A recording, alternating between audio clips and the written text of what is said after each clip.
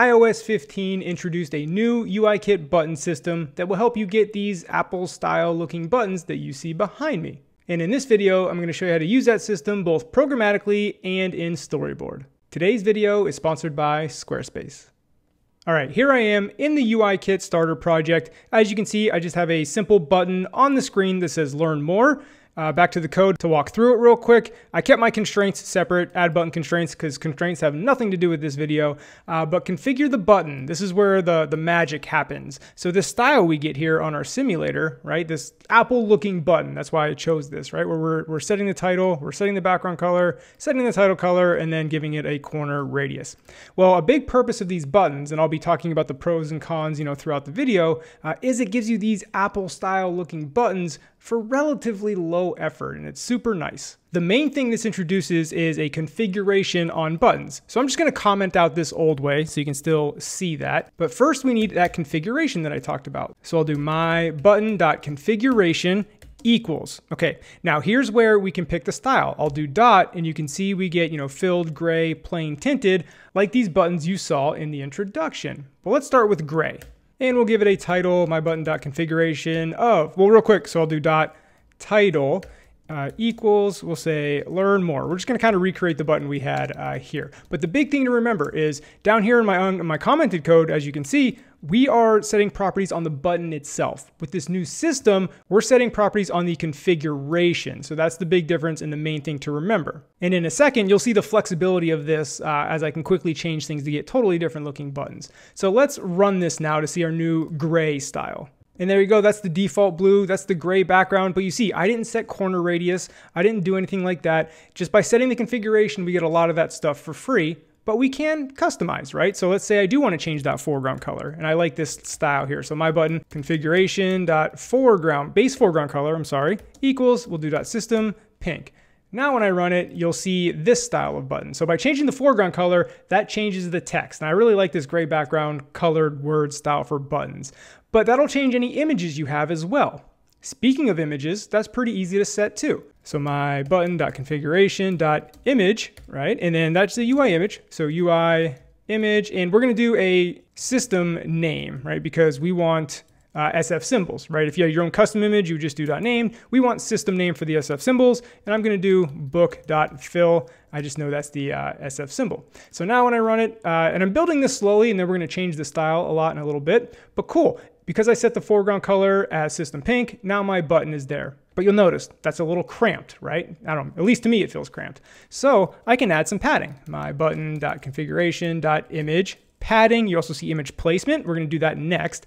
So image padding, I will say six and run it again and check that out. Man, I really miss SwiftUI with those live previews. But there you go. That padding uh, looks a lot better. Now, before I move on to placement, let's start adjusting this style. We've just been working with this gray style. But now that I have this button, I can change the configuration. So we'll do dot, and then let's do dot filled. That is the Apple style button we had before. But I set my foreground color to system pink. So that means my font's gonna be pink. Well, here I wanna set my background color to pink. My button dot configuration dot base background color equals dot system pink. And then I wanna change my foreground color to dot white right? And then this will give us the look and feel that we had before. There you go, as you can see. Now let's go to my favorite style of button, tinted. So I'll do dot tinted. And then now I do want my background color and foreground color to be the same color because you'll see the style here. I'll run it uh, so you can see before I start talking about it. You get this nice tinted style and I really think these shine on dark mode. And the great thing about these is the contrast ratio is always good. For example, right, if we had, let's do yellow, right? We'll do yellow for the color instead of system pink. And normally, you know, a yellow uh, background with a white letters, like you wouldn't be able to see those white letters. But now even on a yellow button, the contrast is still there. That's why I like these tinted buttons, and I really think they shine in dark mode as well. Now let's play around a little bit more. We can do that image placement, right? You saw that my button.configuration.image placement, and you can do dot leading, trailing, top, bottom. You saw we were on the leading where the button's on the left. Obviously trailing would be on the other side. Let's mess around with top and like really, you know, structure our button differently. So instead of a long button, let's have a square button. Let's do like 80 by 80. I'm changing my constraints down here to change the size of it because I'm putting the image on top and the words below it. So it needs to be more of a, a square. So again, made it a square, put the image placement to the top. Now let's run it and see what our button looks like. And again, you can play around with this and, and tweak. Okay, learn more looks kind of weird because it's two uh, words. Let's just try learn. And I think this button will kind of be uh, a lot better looking. Yeah, like that kind of button. But you can see how you can easily play around with this, these styles. Once you get this configuration set up, super easy to tweak. All right, let's go back uh, to our uh, button and I'll show you one more thing to where uh, you can have subtitles in your buttons. Now subtitles are pretty easy as well here. So we do my button.configuration.subtitle equals it's fun to learn. And then we'll go back to uh, leading for the image placement, right? And you'll see this subtitle button. So again, with these button configurations, you can get images, subtitles, multi-line buttons, uh, it's again very easy to tweak and customize how you like it. And then again, like I mentioned, let's say we did want to go back to uh, gray after we tweak that. But with gray, make sure you change the background or comment out the background color because that will override the gray. But now again, if you want this gray style button, we already have it all set up and you get this nice gray look. Again, I really like this look as well. Now, maybe you want the capsule look or maybe you want to tweak your corner radius. You can do that as well. Uh, below image placement, my button, I'm just kind of putting these anywhere by the way, dot corner style equals, we'll do dot. They have built-in uh, dynamic, that adjusts the dynamic type, fixed, large, small, medium. That's the uh, amount of corner radius, or you can do capsule, right? Which will give you, as I'm sure you're familiar, this capsule looking button, as you see here, built right in as a corner style. Now, let me show you something real quick before we move on to the storyboard. I'm gonna option click into configuration, click on open developer documentation,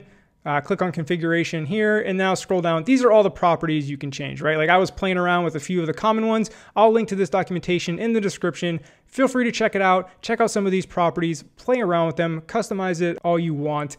But like I said, uh, I really like these button styles and uh, I just think they're, they're cool, easy to customize, easy to change on the fly. Of course, you could, you know, abstract this away into a custom button class. That way you just change it in that class and then all your button updates, you know, that's a, a different tutorial. But before we go, let me show it to you on storyboard, right? Because we did all this programmatically. But if I go to storyboard, right, we have a blank storyboard. I zoomed in a little bit too much.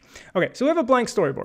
If I do Command Shift L to pull up the object library, you can see here on the left, like I have, well, just in case my face is covering it, you know, we have gray button, tinted button, filled button. They already have these like objects here, right? So I'll do uh, tinted button, drop that on here. Cool, I already got that. Now if I open up the right pane, you see here up in the upper right, style tinted. Well, I can change it style gray, and you'll notice the gray uh, style changed to gray. But over here in the right panel is all of those attributes that we just did programmatically, right? Here's the title. So I'll say scribble, subtitle, just type it in here. It's fun. Alignment, foreground color, background. So we'll do foreground, you know, we'll get that uh, system paint color again. And then the image, right? The cool thing about the image is SF symbols are just built right in. Programmatically, I had to like search for it and like type it in, in code. Well, here I can just, you know, search for it here. We'll say scribble. There we go. The scribble.variable. And you see I got my padding here. I can uh, adjust the padding, 5, 6. Cool, you see just like that in Storyboard, I have a, a cool looking button. And again, all of those properties I showed in the documentation are here in the inspector on the right. You can just kind of play around with this as well. So that's it in Storyboard. That's the new UIKit button system. I think it's really cool. I think it's awesome that we can create these Apple looking buttons. Of course, if you want a crazy custom button, probably gonna have to do it the old way. But if you like your buttons to feel like they fit into the an, an Apple app, an iOS app, I think this is the way to go from here on out. And if you're here learning about buttons, because every app has buttons, you probably need a website to showcase that app, whether it's an iOS developer portfolio or a product website, you know, for that app.